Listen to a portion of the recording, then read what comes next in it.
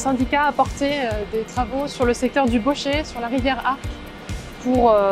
arrêter les fonds d'érosion qui avaient lieu depuis la crue de 2008 au cours de laquelle les différents seuils qui se succèdent sur la rivière Arc ont été détruits et engrangé une incision qui avait tendance à remonter et à fragiliser les ouvrages sur l'Arc, comme le pont des Anglais derrière nous. Donc en 2021, on a euh, recréé le dernier seuil qui permettait la stabilisation de, ce, de ce, secteur de l'Arc, de manière à protéger l'ensemble des enjeux qui étaient à proximité, c'est-à-dire l'usine Ferropem, la route départementale qui mène au Carélis, et les enjeux en rive droite qui sont euh, la voie ferrée et les réseaux souterrains qui passent sous, la départementale.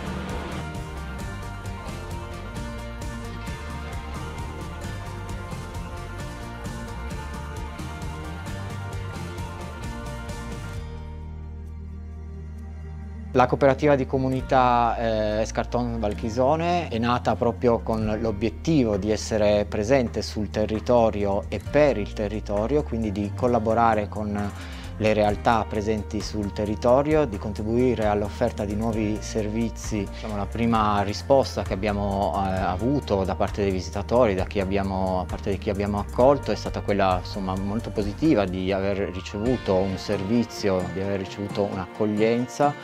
in particolare l'apertura del punto museo dedicato ai Brunetta Dussò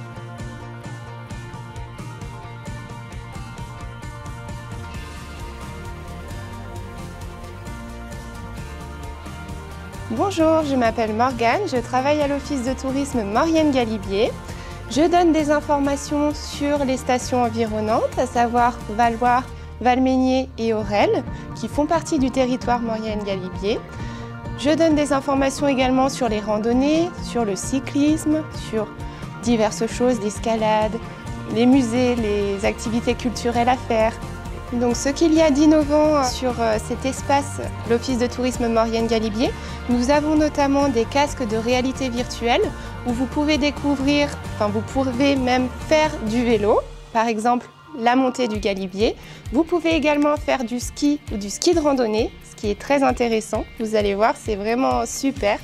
Nous avons également une tablette euh, numérique où vous pouvez découvrir tout ce que vous pouvez faire sur le territoire Maurienne-Galibier. Et nous avons également un espace scénographique où vous pouvez regarder des petits films, donc ça va euh, de 2 à des films de 12 minutes, comme par exemple sur le parc de la Vanoise.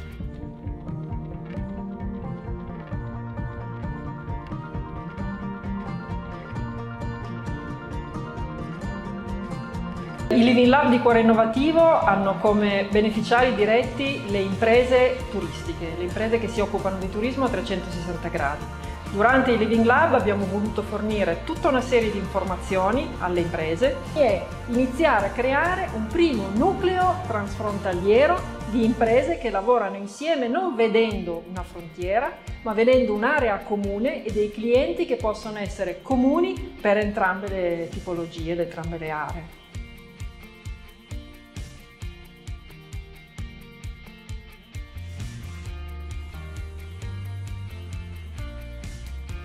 All'interno del progetto Cuore Innovativo CNA Torino si occupa in particolare dello sviluppo di un portale di promozione del territorio e delle imprese. Si tratta di un'attività che eh, parte da un'azione che CNA Torino ha già realizzato sul territorio della Valle di Susa negli anni passati e che grazie al eh, progetto Peter Alcotra ha potuto modellizzare e trasferire sui territori delle valli del Pinerolese.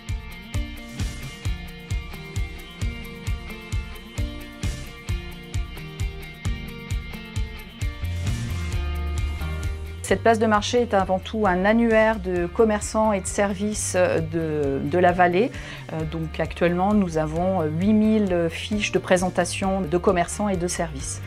Euh, l'initiative de cette... Et euh, n'étant pas essentielle, ils ne pouvaient pas ouvrir leur commerce et donc ils ont vraiment été très impactés par, par le Covid.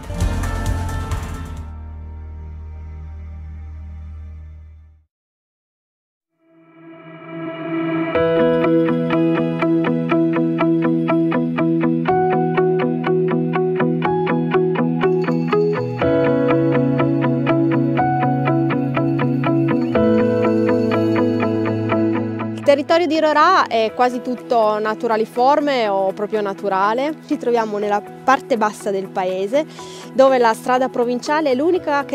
viabilità che connette con la parte alta, con il cuore di Rorà che è nel centro del paese a mille metri, per la quale lo studio ha preso proprio avvio valutando come eventuali frane, eventuali rischi che si innescano smottamenti potrebbero causare l'isolamento completo della nostra comunità e per i cambiamenti climatici stiamo affrontando delle situazioni emergenziali connesse ai rischi naturali. Alle mie spalle si vede un muretto a secco, Rorà è percorsa da molti chilometri di muretti a secco, eh, c'è un'area da tutelare, da salvaguardare perché siamo su pendii molto molto ripidi,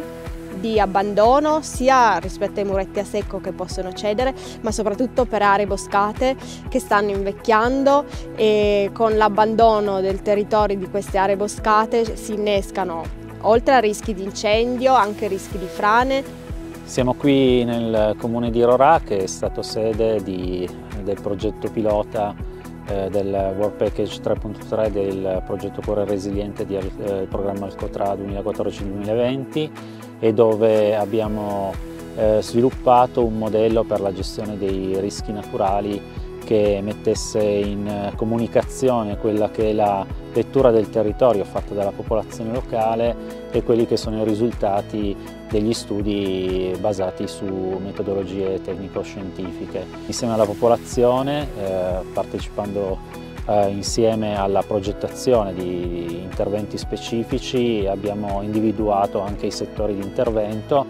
che mm, si prestano proprio all'applicazione di tecniche che coinvolgono le aziende agricole, l'amministrazione, tutti gli attori interessati per il potenziamento del ruolo che ha la natura nel eh, limitare gli effetti dei rischi naturali delle calamità. Con eh, la strategia proposta, utilizzando i servizi ecosistemici, siamo riusciti a definire un modello che permette di generare reddito per le aziende, ridurre i costi per la prevenzione dei rischi naturali e permette di incrementare l'economia locale. Nell'ottica di focalizzare l'attenzione sull'importanza del tema della prevenzione in materia di rischio idrogeologico sulle alte valli, l'Unione Montana si è a suo tempo candidata come soggetto attuatore della città metropolitana e ha individuato due attività nell'ambito del progetto che possiamo di seguito sintetizzare. La prima attività è consistita nella realizzazione di due cantieri pilota, nei comuni di Angroni e Rorà, in quanto luoghi maggiormente colpiti in quota dall'evento alluvionale del novembre 2016.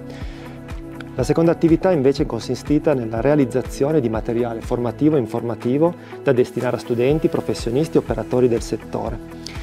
per tale attività si è in particolare scelto di percorrere una strada alternativa rispetto alle tradizionali forme di divulgazione, indirizzandosi sulla creazione di un portale web che, raggruppando in maniera dinamica e innovativa materiale fotografico, video e testimonianze, possa rappresentare un punto di riferimento presente e futuro per la raccolta di buone pratiche che presuppongano l'utilizzo della pietra locale e la riscoperta e valorizzazione delle tecniche di costruzione tradizionali.